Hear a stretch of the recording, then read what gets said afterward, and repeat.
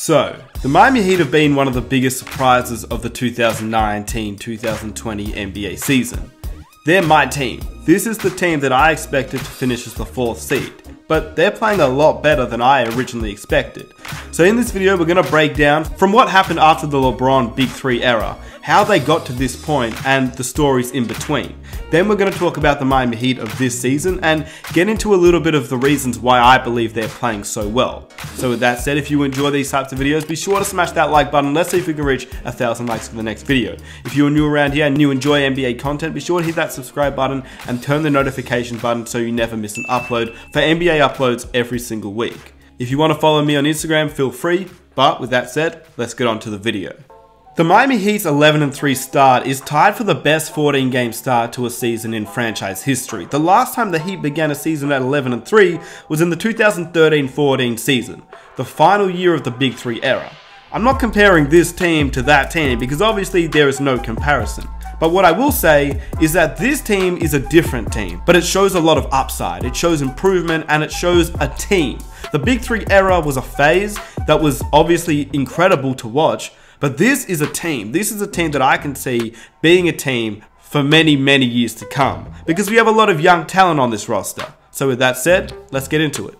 So we're going to rewind all the way back to the Big 3 era. Well, the end of the Big 3 era. LeBron James had just announced that he was joining the Cleveland Cavaliers for the second time and looking to bring Cleveland their first NBA championship. Which meant that it was Dwyane Wade and Chris Bosh who were still in Miami, which at that time they still could be a dynamic duo that could do pretty well in the Eastern Conference. Obviously by that time the Heat thought that they could win and compete, so they tried to acquire guys that could somehow fill the need of LeBron in terms of not the best player but they needed a small forward. So they ended up getting Luol Deng who at the time was okay, Danny Granger who was a veteran small forward, and they had a lineup of Mario Chalmers, Dwyane Wade, Luol Deng, Chris Bosh, and they still had Udonis Haslem, Chris Andersen. In addition, they also gained Goran Dragic who ended up being an all-star point guard a few seasons later. So this team was looking okay. But as we all know, that didn't work out. Chris Bosh ended up having injuries and the rest of the team just couldn't really perform. They finished with a 37 and 45 record, which was the NBA's 10th worst in the league. In fact, they didn't even make the playoffs after being Eastern Conference champions for four straight seasons. So by this time, they looked to rebuild. They had acquired Hassan Whiteside through the D-League. He was a different type of player than he is now. He actually put in the effort. He would get multiple blocks every night. Some games he'd get 10, some games he'd get 5. It was insane. His blocking season, the first year, year where he entered the Miami Heat's roster, he just was a monster.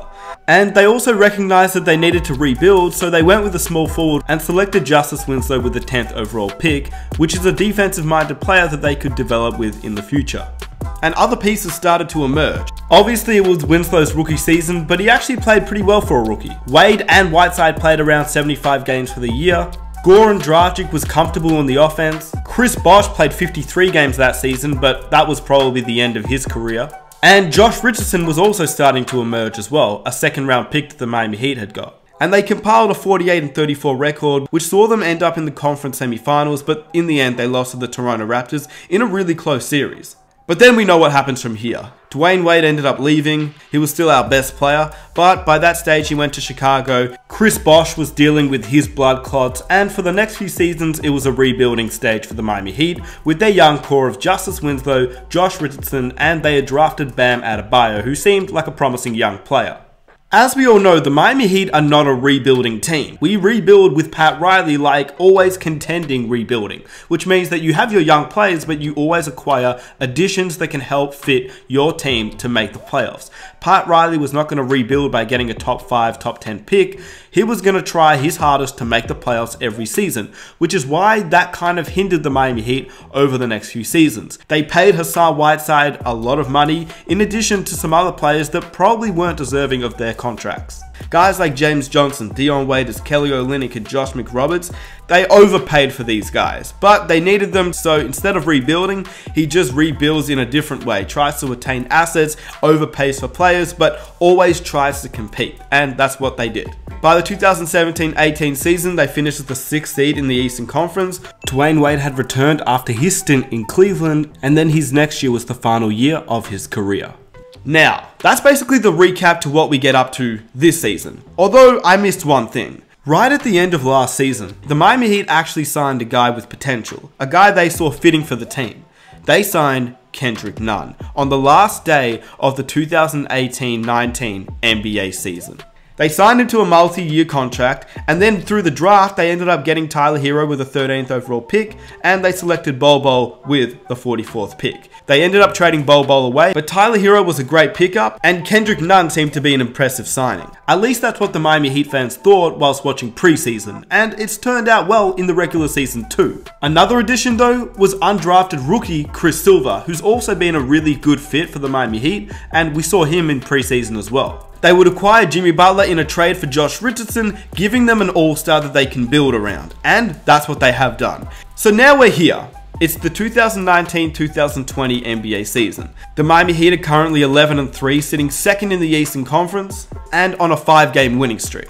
They traded Hassan Whiteside to give Bam Adebayo the starting role. They put Kendrick Nunn as their starting point guard, even with Goran Dragic still on the team. And that has led to Miami actually having a six man now for bench production. Goran Dragic and Tyler Herro off the bench provide scoring, which the Miami Heat never had in the past. And what the Miami Heat also didn't have was three-point shooting. Now they have guys like Duncan Robinson, who went for 30 points the other game and has been a very solid player for the Miami Heat, being the leading three-point shooter. They acquired Meyers Leonard from Portland in the trade for Hassan Whiteside, and Meyers Leonard has the best three-point field goal percentage in the entire NBA. Kendrick Nunn, we all know, has been a contributor for the Miami Heat as the starting point guard, even in his undrafted rookie season, and he was already a proven scorer entering the team, and his three-point percentage and long-range shooting have been superb. Tyler Herro, we all know why he got drafted to the Miami Heat, and his three-point shooting is amazing as well, and they've still got guys like Kelly Olynyk who can stretch the floor, Goran Dragic who's been on fire this season off the bench, and as the sixth man for the Miami Heat, but what's most impressive about the Miami Heat is their defense. They rank 7th in the league for opposition points per game, and that is without Justice Winslow, who is one of their better defenders. When he gets back, alongside Jimmy Butler, alongside Bam Adebayo, and even Kendrick Nunn has been pretty decent on defense as well. It could be interesting to see if that affects the offensive game, but to see if the defensive game can also rise even further.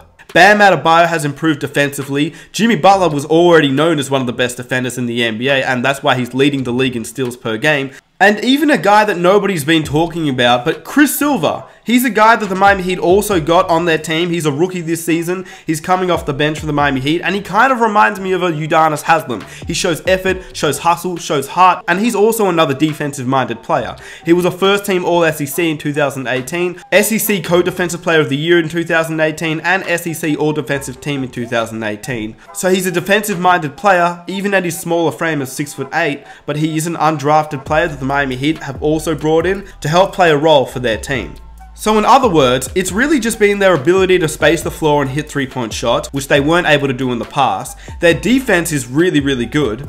But obviously there is room to improve. They're 13th in points per game, 21st in rebounds per game, 7th in assists per game, 6th in offensive points per game, which is probably the most impressive point for me. That just shows that their defense is really good, but their offensive game can still improve with them being ranked 13th in points per game. I have no doubt that this season Coach Spo will be contending for Coach of the Year. Pat Riley will keep building his team and try to bring in other assets either via trade or free agency. He's looking to win a championship as soon as possible. Jimmy Butler probably needs another star or all-star talent to help get them closer to that championship, but for the way that the team is playing right now, it's really, really exciting to watch. And as a Heat fan, I'm so happy to watch this team. And if you're not a Heat fan, it's pretty good for the NBA in general to see more competitiveness overall. What's most impressive to me personally is the fact that each individual player plays their role and there's no real standout. Even though Jimmy Butler is the all-star player on this team, there's no standout player each and every night. It could be one night Kendrick Nunn,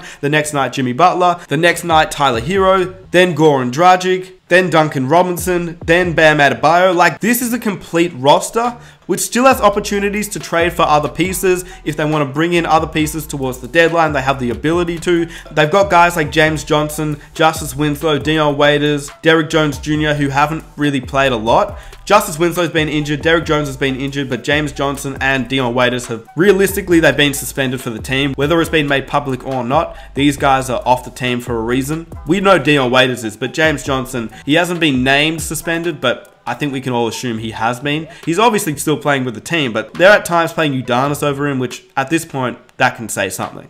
And Miami's young core of Kendrick Nunn, Tyler Herro, Bam Adebayo, Justice Winslow, and Duncan Robinson have all been performing. Nunn is averaging 17.3 points per game, Herro's averaging 14 points per game, Bam's averaging 13.8 points per game with great defense, and so is Justice Winslow, and Duncan Robinson's averaging 11.2 but with great three point shooting. In addition, the Miami Heat have a few players that can be considered for accolades. Jimmy Butler can be considered for an all-star and as a defensive player of the year candidate. Kendrick Nunn and Tyler Herro are in the rookie of the year race. Bam can be considered as a most improved player, and Goran Dragic can be considered as a six man of the year. So, there's a lot going for the Miami Heat team. It's going to be interesting to see how they play against Philadelphia in the next game. Jimmy Butler's playing his old team. So let me know what you think about the Miami Heat. If you enjoyed this video, be sure to leave a like, subscribe if you're new, hit the notification button, follow me on Instagram, and it's been your boy Nick Smith. I am out. Peace.